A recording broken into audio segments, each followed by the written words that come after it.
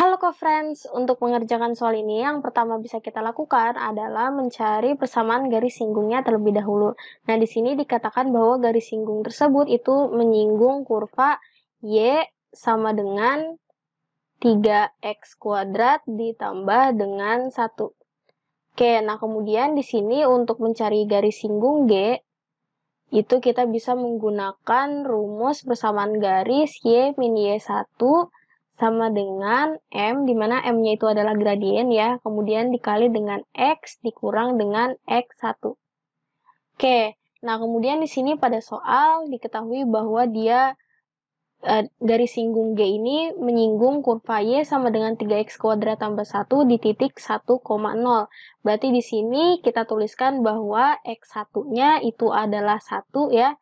Di sini Kemudian untuk Y-nya itu adalah 0. Berarti di sini Y1-nya itu adalah 0. Oke, nah kemudian di sini untuk gradiennya kita belum tahu ya.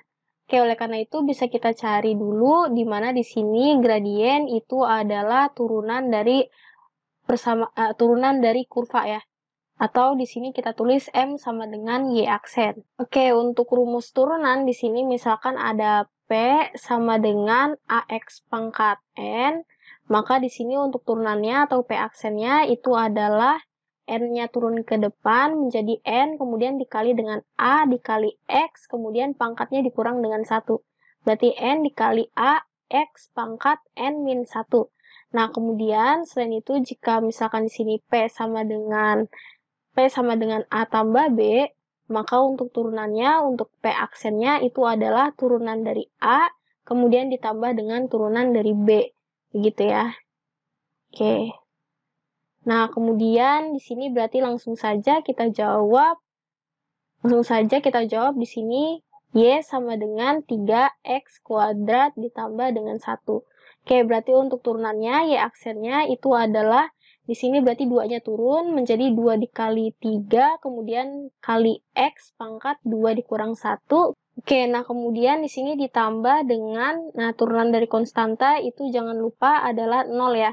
Berarti di sini ditambah dengan 0. Nah, kemudian berarti untuk Y aksennya itu adalah 6X ya. Oke, 6X. Kemudian selanjutnya di sini X-nya langsung saja kita masukkan dengan 1 yang ada di sini ya. Oke, Nah, jadi itu akan sama dengan Y aksen sama dengan 6 dikali dengan 1. Nah, itu adalah 6. Berarti di sini untuk gradiennya itu adalah 6.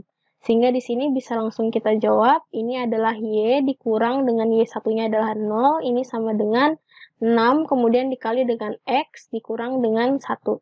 Oke, maka itu akan menjadi Y sama dengan 6X, kemudian dikurang dengan 6 ya. Oke, kita udah tahu untuk persamaan garisnya. Kemudian di sini diketahui A, 0 dan 0, B itu adalah titik pada garis G.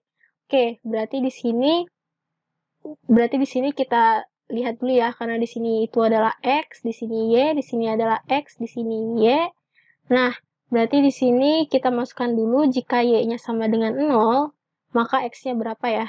Jika X sama dengan 0, maka di sini 0 sama dengan 6X kurang 6.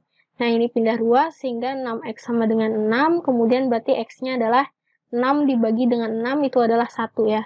Berarti dari sini kita tahu bahwa nilai A itu adalah 1, kemudian di sini jika Y-nya sama dengan B, atau di sini yang diketahui itu adalah X-nya ya. Jika X-nya sama dengan 0, maka di sini Y sama dengan 6 dikali 0, kemudian dikurang dengan 6. Nah, kita tahu 6, 6 kali 0 itu adalah 0, kemudian dikurang dengan 6 berarti minus 6. Nah, berarti kita tahu nilai B-nya itu adalah minus 6. Kemudian kita diminta untuk mencari A kali B. Berarti di sini A-nya itu adalah 1 dikali dengan minus 6 ya. Oke, 1 kali minus 6 kita tahu adalah minus 6. Berarti jawabannya adalah minus 6. Baik, sampai jumpa di pertanyaan berikutnya.